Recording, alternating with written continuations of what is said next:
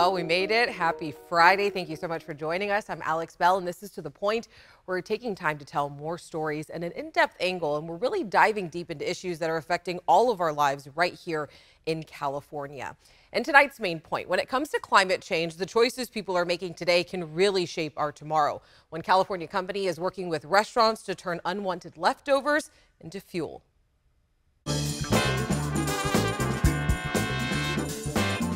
The Ferry Building in San Francisco is home to some of the best food. But as you enjoy the food, drinks, and views, you may not be thinking about what's going on in the kitchen. Cooking oil, essential in restaurants' kitchens and used to fry these delicious fries. But the oil does more than just fill our bellies with greasy goodness. It's also being used to help our environment in a farm to fuel tank kind of way. It's just another beautiful day at the Ferry Building, and as they get ready to open, so are the businesses. General Manager Jane Connor says that popular spots such as Hog Island are trying to be sustainable and practice what the Ferry Building preaches. The building is about celebrating local flavors. It has such a history in farming and farming traditions in those local flavors. And I think the stewardship of realizing in order to perpetuate just the, the abundance of the Bay Area, you have to take care of it. And that's where Crimson Renewable Energy comes in. They collect used cooking oil from places like the Ferry Building and turn it into biodiesel, says Tyson Keever, Crimson Chief Operating Officer. Biodiesel is pour and go technology. You can take a gallon straight from this plant and put it right in a diesel vehicle and drive away. So, how does Crimson Renewable take this and turn it into this? Each restaurant is bringing their gallons of used cooking oil to a one place in our building in our loading dock area, and they're putting the cooking oil there. So those six businesses every day are bringing in gallons and gallons. Yeah, it smells about as good as it looks. Drivers like Daryl collect oil in trucks like these, where it gets transported to their plant hours away in Bakersfield. We're here at our Bakersfield Crimson plant, where we take that cooking oil from restaurants and convert it to biodiesel, which is pour and go in any diesel engine today. So we make biodiesel, which you can use in your diesel truck or in your home heating oil furnace or in heavy trucks going up and down the freeway. Harry Simpson is the CEO of Crimson. Our mantra is collect, refine, refuel. So we're collecting used cooking oil up and down California. He started Crimson almost 15 years ago. To do something that I believed in, to try to do something specifically in renewable energy. And now we are the largest producer of biodiesel in the state of California. They work with clients like Chase Arena, home to the Golden State Warriors, Sierra Nevada Brewing, Buffalo Wild Wings, Outback Steakhouse, and Chipotle in Sacramento. The carbon reduction for what we do here uh, is in the realm of 85 to 90 percent lower than petroleum diesel. Simply put, it's cleaner tailpipe emissions. Harry says Crimson's production of biodiesel is like planting 8.2 million trees or taking 108,000 cars off the road. The other good thing about biodiesel is that it burns cleaner. Specifically, it reduces particulate matter emissions compared to petroleum diesel. So the particulate matter emissions, especially PM2.5 and PM10, that's what gives people respiratory illness.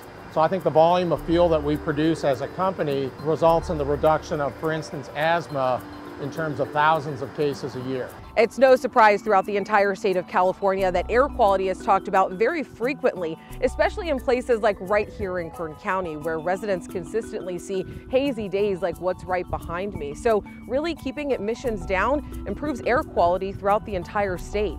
Harry says the market in California for clean burning, low carbon fuels has really stepped up over the last decade. Crimson even expanded their Bakersfield location. This latest addition, right over my shoulder here, is some new technology that can take more distressed feedstocks, recycled cooking oil, or real challenged oil from grease traps and other waste streams and repurpose it to biodiesel. Crimson has two locations, Bakersfield and Oregon. Between both plants, they have the capacity to pump out about 50 million gallons of biodiesel a year. This plant is a state of the art plant, the most current generation.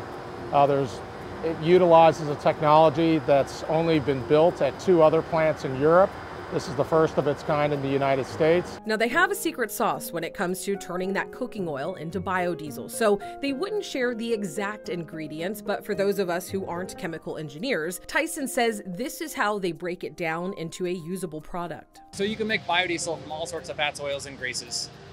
Think of any canola oil you have on the shelf in your kitchen. That's the base feedstock we're using to make biodiesel. In order for it to be reactor ready, I'll call it, we want to remove impurities because we're using recycled streams from restaurants. So it'll have french fries in it, it'll have chicken wing batter and other sorts. So we're going to filter it and we're going to dewater it and get lots of the impurities out. Then we have reactor ready oil, and that's what's similar to what you have in your in your kitchen right now on the shelf of your canola cooking oil. So we're going to take that, put it in the reactor, and we're going to add methanol and a catalyst to it, and some heat, some agitation, and it will separate. We're going to have biodiesel, which is a methyl ester. About nine parts will be methyl ester, and one part will be glycerin. The biodiesel is then polished a little bit further, and it's ready to go to market and be used in any diesel engine. By far, the biggest use of their biodiesel goes to truck stops. Those big semi trucks you see going up and down the road, you would be hard pressed today in California to go to uh, a truck stop and find a, a fuel, a diesel fuel that does not have 20% biodiesel. Almost all the truck stops now are running or selling a fuel uh, that goes into the semi trucks that has 20% biodiesel. The biodiesel that leaves here typically gets blended with petroleum diesel and consumed at a 20% biodiesel, 80% petroleum diesel blend rate. California's economy also benefiting from this fuel. The economic impact is something Crimson is proud to keep local. The economic model for what we do is quite different than what people may be used to with like a major oil refinery where they're bringing crude oil from all over the world, uh, from the Middle East or Venezuela. Keeps dollars revolving in the local economy with jobs from people collecting the cooking oil, processing the cooking oil, bringing it to the biodiesel plant, and then converting from here and selling it and using it here. Harry's dreams are to continue to grow the company and improve the environment the renewable way. Investing in potentially a solar farm, other things to improve the sustainability of, of this facility. There's a recognition that we've got to start transitioning. And I don't think there's any one single thing that is uh, going to be the magic silver bullet. It's facilities like this, bringing new clean burning, renewable liquid fuels. There's electric vehicles. It's converting the grid to solar and wind. We need advances in battery storage technology to make that viable. And for places like the Ferry Building, Jane says the choices they make today shape their tomorrow. Just reinforces what we're doing here in terms of the sustainability and working with local businesses. It's going to be the shoppers of tomorrow, it's going to be the chefs of tomorrow that are going to benefit from the decisions and practices we're doing today.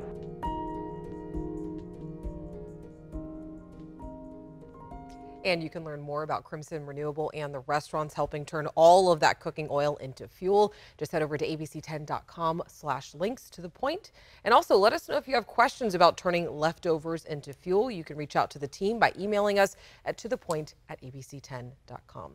All right, Apple has issued an update for iPhones, and you do not want to wait to download this one. We're going to take a quick break. When we come back, we'll show you just how easy it is to close those security gaps.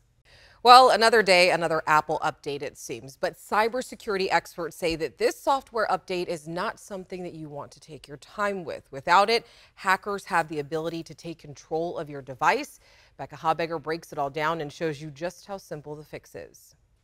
The whole process of updating your phone to make sure you have the latest security should take less than 10 minutes. For the smoothest possible experience, you should make sure your phone is plugged into power and connected to Wi-Fi. When you open up your iPhone, you want to look for this settings icon. It might be in a different place on your screen. If you're having trouble finding it, you can always swipe right from your home screen and type settings into the search bar. Once the app pops up, tap it. It'll take you here. You'll want to scroll down until you see General. Tap that. On the next screen, tap Software Update. In a few seconds, you should see this latest available update appear. Tap Download and Install. You might have to enter your phone password. After that, you'll see that the download has started. This is where it takes a few minutes as the update is downloaded and then your phone installs it. Keep your phone on this screen until the process is done. You may be prompted to say, yes, install this now. Your phone will automatically restart, and once it's back up, you should see this notification that your phone has successfully updated. Then congratulations, you're protected until the next security update. As the tech website The Verge puts it, constant security updates aren't necessarily a bad thing. Sure, they could be an indication that a lot of bugs are slipping into software, but they could just as easily mean that a company has gotten really good at finding existing issues and stamping them out. So why not update your phone now? And while you wait, keep watching To the Point with Alex Bell. Ah, I like the way that Becca thinks. All right, you can find more on the security fix at abc10.com slash to the point. Earlier this week, President Biden signed the Inflation Reduction Act. It's a massive healthcare and climate and tax bill. The president is hoping it's a win that carries his party through the midterms that are in about 80 days. About delivering progress and prosperity to American families. It's about showing the American and the American people that democracy still works in America. A big talking point we touched on earlier this week the nearly $740 billion law includes major investments in health care. It expands subsidies to help 13 million Americans pay for insurance and caps prescription drug prices for Medicare recipients at $2,000 a year. So starting next year, the bill ensures millions pay no more than $35 a month for insulin. And capping the price of insulin will be something new in California. California. According to the Los Angeles Times, almost half of the country imposes a cap of some kind already, but California does not. The American Diabetes Association says about 3.2 million people in California live with diagnosed diabetes. The disease costs an estimated $39.5 billion in California each year. And speaking of inflation, federal data shows that food prices have jumped 13% just the last year. And that's the biggest year over year increase since 1979. So we asked some of you at home to show us how your refrigerator has actually changed with all of these prices. So let's take a look at that. Rebecca from Modesto says that inflation has definitely made it difficult for a family of six to barely get anything for $250. That is her fridge right there. We got Shelly on Facebook. She sent us this picture. She said that her husband noticed that the fridge was a little empty and asked if she was going to go shopping, but food is just too expensive. She says that she is thankful to the Choctaw, Choctaw Nation for um, assisting them with $200 a month in food. And then we have Danielle. She says that she still buys the same old stuff and things have not gone up, have gone up, but nothing drastic. And thankfully, there isn't anything that she's had to stop buying because it's too expensive. Now, you can send us your photos of your fridge right on our Facebook or make sure that you email our team at abc10.com slash to the point. All right, buckle up. It's uh, time to check in with John Bartell here. We're hitting the back roads once again. And this week, we're heading to the Death Valley region to do a little mining in the desert town of Boron. Mmm, borax sweet. Mmm, borax sweet. Borax, the cleaning agent that our parents and our grandparents grew up with. 20 Mule Team borax is nature's sweetener for laundry. The old fashioned powdered soap cleans clothes, cleans hands, and cleans dishes. Clean cutting board with all the troublemakers washed off. Borax may be old fashioned, but it's definitely not outdated. In fact, borax is inside modern items we use every day. You don't really know this, in your, but in your daily lives, you interact with it uh, constantly. It's not only is it in fertilizers for your food, um, it is in glass uh, for your television, it is in your cell, your cell phone here, this glass. Borax is inside hundreds of products and used by people from all over the world, but there's really only two places in the world that make borax the country of Turkey and the desert town of Boron in Kern County, California. Borax is a, it's like an element on the periodic table boron, right? And it's combined with other elements to be borax, like you see it here in the pit.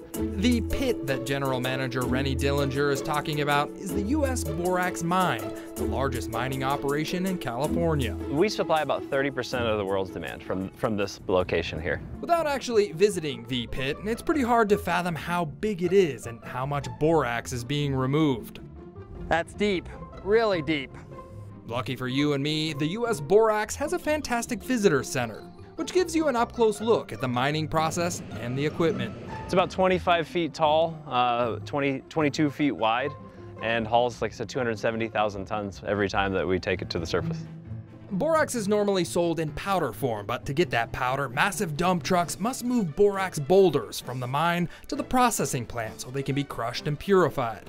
Rennie says it's not uncommon for these monster trucks to be running 24 hours a day and burning about a thousand gallons of fuel each shift.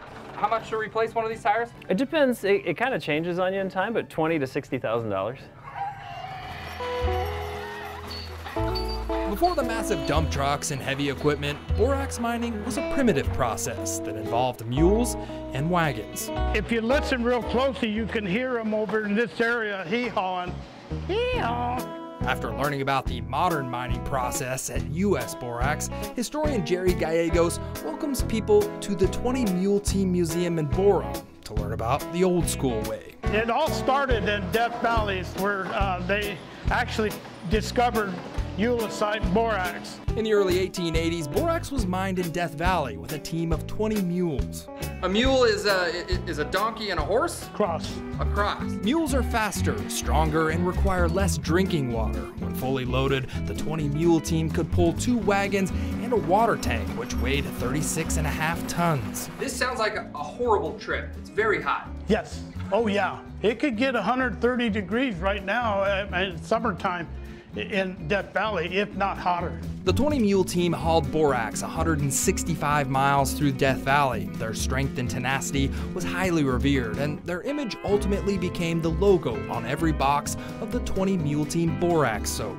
Borateem, borax bleach, the, the borax hand cleaner, so everybody, that's what we've always been known for. From fire retardant to ceramics, innovators are constantly finding new applications for borax. But recently, a new element was discovered in the mine. So we have um, executed ways to extract lithium from waste material. So all of our waste material uh, has just a small amount of lithium. New refining processes are currently in the works to pull out lithium deposits, and someday soon, lithium could be used inside electric car batteries, only adding to the usefulness of this mine. One of the perks of coming to the Borax Museum is uh, you get to go home with your own borax ore. From the U.S. Borax Mine in Boron, California, I'm John Bartell. Hope to see you on the back roads. All right, we'll leave you with some good news on this Friday night. New technology is giving people who are deaf or hard of hearing the opportunity to have verbal conversations. These are augmented reality glasses from XRAI Glass based in England. The smart glasses pair with an app to turn speech into heads-on display with subtitles in real time. This is a new way of being able to communicate and be included in this. Yeah, she's like, she, she's naturally looking at me, but she's realising she doesn't have to look read me, she can just look through the glasses. You are the first deaf BSL in the world to experience this. Yes. She feels very honoured.